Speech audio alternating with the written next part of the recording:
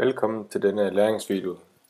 Den video så vil vi gennemgå øh, funktionen roof og hvordan vi kan arbejde med, med at lave tag og øh, tagrender og udhæng øh, på en bygning. Vi har vores model fra tidligere her, og på den der vil vi nu øh, generere et, øh, et tag. Vi går ind i vores øh, førstehalsplan, og her kan vi se, at øh, vi har vores plantegning, og vi går op under Home-tabben, igen op i vores menubar, og vælger Roof. Under Roof er der forskellige muligheder. Øh, roof by Footprints, øh, eller Extrusion. Og her er den, vi kan tilknytte øh, underbeklædning og øh, stern og tagrende. Og vi vil komme igennem de her punkter her i den her video. Men allerførst skal vi lige ind og tager by Footprints. Sådan her. Og så definerer vi, hvor stort det udhæng vi vil have. Vi vil sige, vi vil have 500 mm. Og vi vælger, hvilken form for konstruktion vi skal bruge. Og det igen, ligesom tidligere, det kommer an på, hvilken template man har. Øh, og måden, man opbygger sin egen på, den fungerer på akkurat samme måde som med gulv og med vægge at man går ind og vælger Edit Type og laver en Duplicate igen, og så går man ind og opretter de lag, man, øh, man vil have.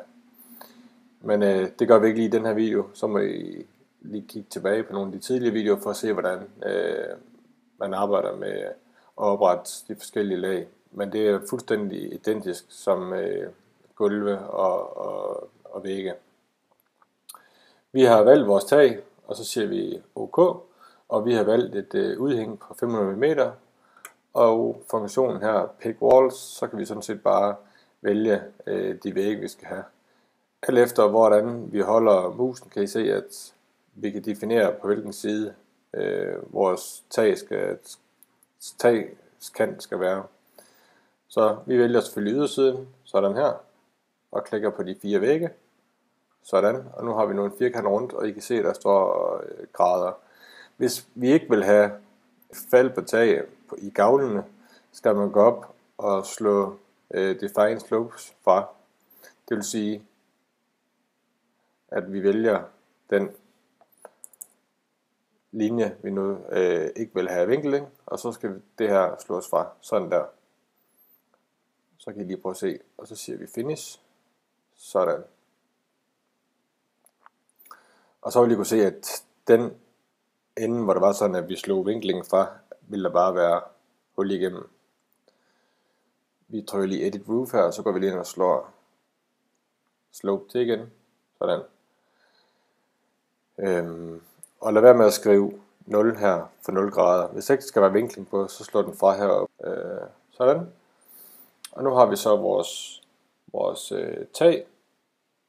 Og vi sætter den lige til plum cut, sådan der, så vi får en dimension på. Og nu har vi så vores tag i, i bygningen. Hvis vi klikker på tag, har man mulighed for at ændre graderne her i slope, og her kan vi sige 45, hvis det er det, og så vil hele taget ændre sig til, til 45 grader. Vi holder den lige på, på 30 i det her tilfælde. Sådan. Nu har vi simpelthen fået lavet et tag, og hvis vi går ind i vores snit, så kan vi se, at vi har fået tag på vores bygning, og taget det kører fra underkant og op efter, altså fra det level der og så op. Nu vil vi godt tænke os at få lidt øh, sternbrædder og nogle tagrender på, på vores bygning. Så vi går ind i Roof igen og vælger øh, Fascia her og klikker en gang og så kommer vi ind i vores bibliotek, hvor vi har forskellige øh, muligheder for at tilknytte nogle, øh, nogle profiler. Og vi kan gå ind og sige, at øh, vi skal have en, der er 300 gange 20 eller 20 gange 300 meter. Og så klikker vi simpelthen på, på hvad hedder det, på kanten, hele vejen rundt på vores bygning. Sådan her.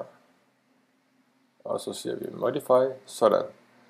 Så nu vil vi kunne se, at vi har en sternkanon vores bygning, og vi kan gå ind, der gå ind her og så sige, at vi skal have noget materiale.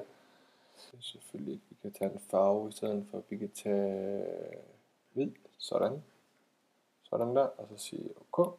Så, så kan I se, at vi har fået en, en stjernkant rundt vores, vores bygning.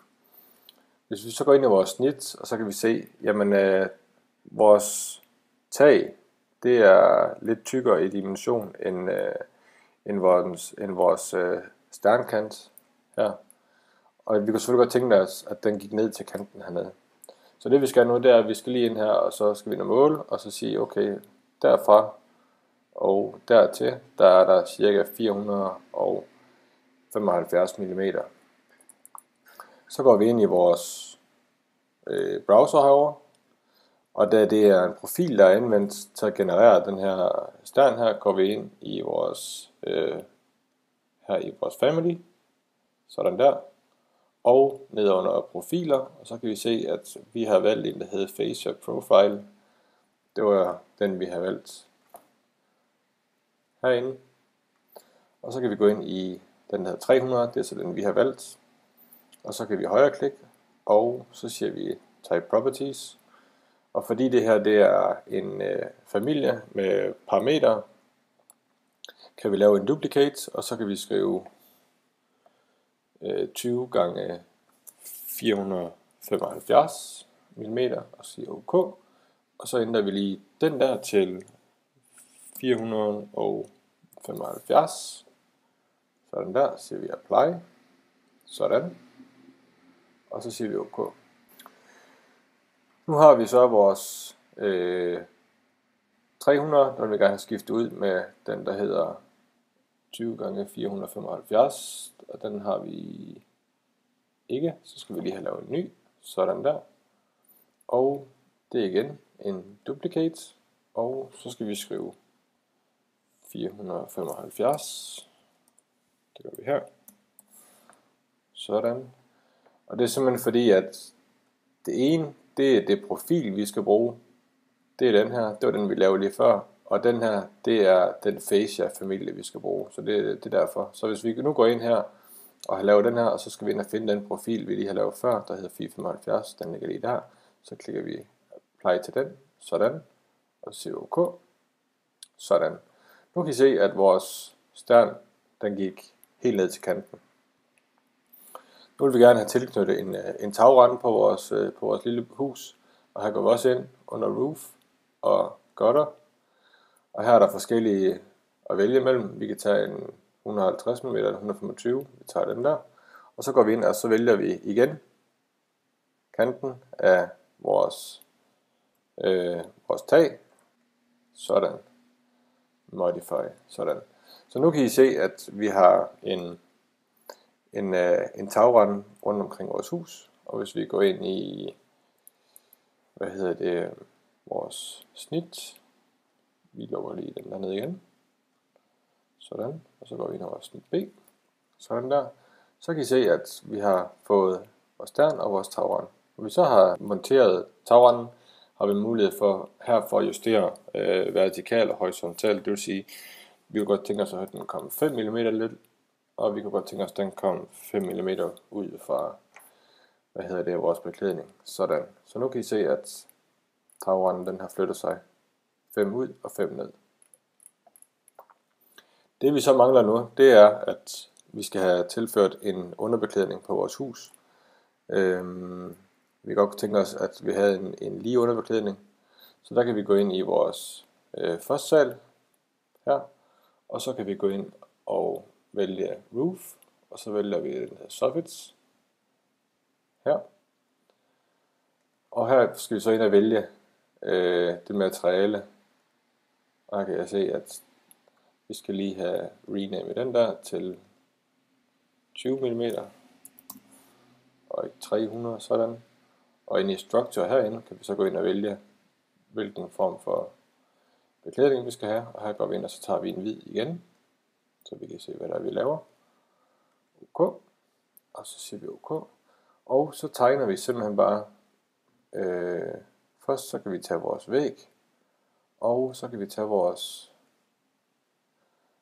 vores tag efterfølgende. Sådan. Og så ser vi finish. Så kan vi gå ind i vores snit igen. Og så skal vi lige have rykket vores beklædning lidt ned. Det var så lidt for meget, så vi tager lige og rykker den.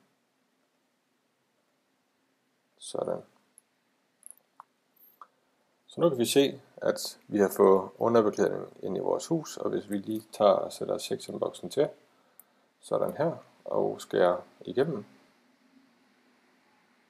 sådan, så vil vi nu kunne se, at vi har et tag med tagrende og stern og underbeklædning.